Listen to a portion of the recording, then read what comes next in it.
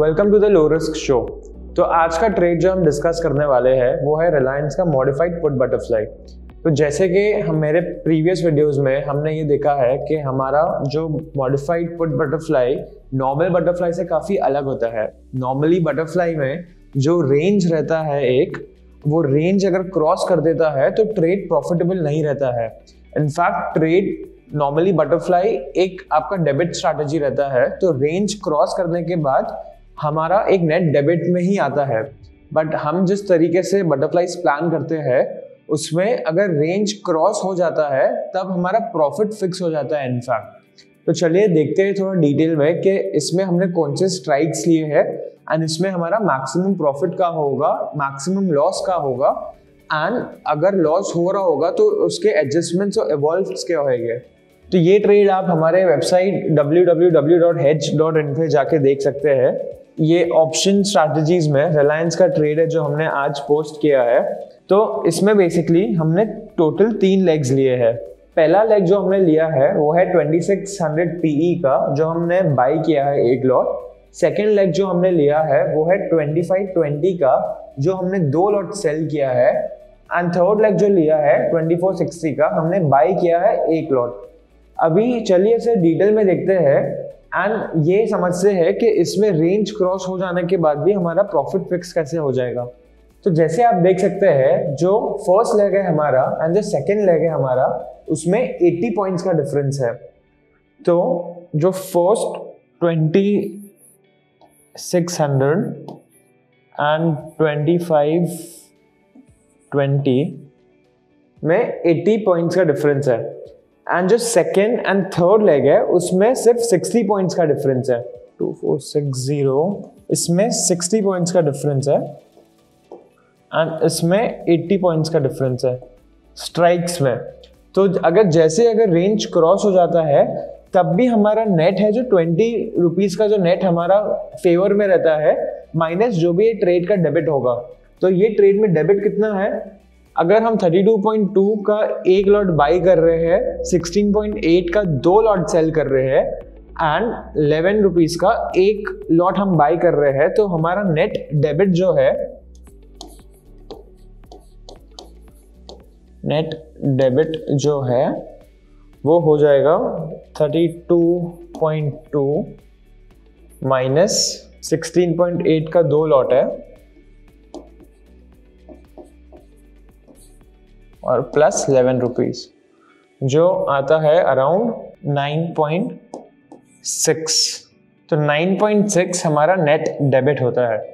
And Reliance का lot size है 250 का तो अराउंड लेट से इसका मैक्सिमम लॉस जो होगा, वो 2200 के आसपास होगा एंड वो हमारा मैक्सिमम लॉस होगा। फेब एंड तक, ये सारे तीनों लेग्स जो है, वो फेब एंड एक्सपायरी के हैं। तो चलिए देखते हैं, अगर ट्रेड नीचे आना स्टार्ट हुआ तो क्या होगा?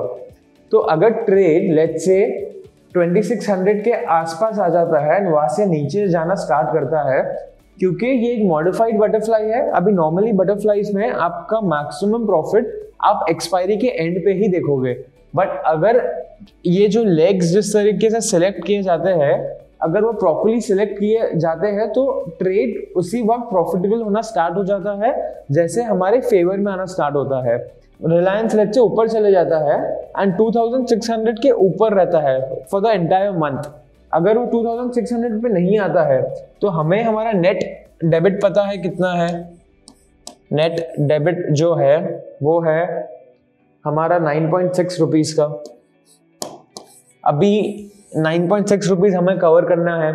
अभी इसमें हम क्या कर सकते हैं? अगर रिलायंस रेट से काफ़ी ऊपर जाना स्टार्ट कर देता है, या रिलायंस कुछ भी नहीं करता है फॉर द एंटायर मंथ तो जब ये 2600 का एंड 20 2520 का डिफरेंस अगर 9.6 के आसपास आता है तो जो फ़र्स्ट इवॉल्व जो हम कर सकते हैं वो है 2600 एंड 2520 का एक लॉट निकाल के ये लास्ट दो लेग्स को हम एक बुलपुट जैसे ट्रीट कर सकते हैं एंड ये 9.6 का जो डेबिट है वो हम कवर कर सकते हैं। वो है हमारा फ़र्स्ट एडजस्टमेंट हो जाएगा। दूसरी चीज़ जो हम कर सकते हैं, अगर लेट्स से रिलायंस साइडवेज रहता है या रिलायंस ऊपर जाता है तो दूसरी चीज़ जो हम कर सकते हैं, वो है 25-20 का पुट हम ऊपर शिफ्ट कर सकते हैं ताकि ये नेट डेबिट हम और कवर कर सके। तो जैसे मैंने अपने पहले वीडियोस में भी बताया है कि ट्रेड जब प्लान किया जाता है, दो चीज़ें सबसे इंपॉर्टेंट होती है।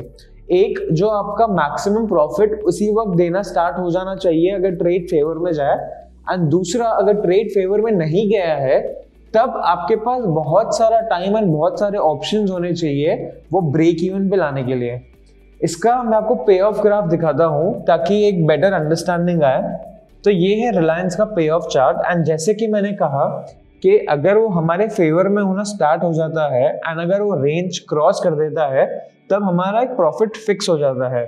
एंड अगर रिलायंस ये साइड ऊपर के साइड यानी हमारे ट्रेड के ऑपोजिट जाना स्टार्ट हो जाता है, तब जो भी हमारे एडजस्टमेंट है वो ये साइड पे हो गए तो ये था हमारा पे ऑफ़ ग्राफ तो आपको अगर इसका payoff graph and trade logic देखना हो कि हमने रिलायंस में ट्रेड एक्चुअली क्यों प्लान किया है तो यूजुअली हमारा एक बायस रहता है, जिसके टेक्निकल रीजंस रहते हैं एंड काफ़ी एक्चुअली रीजंस रहते हैं कि हम ट्रेड प्लान करते हैं।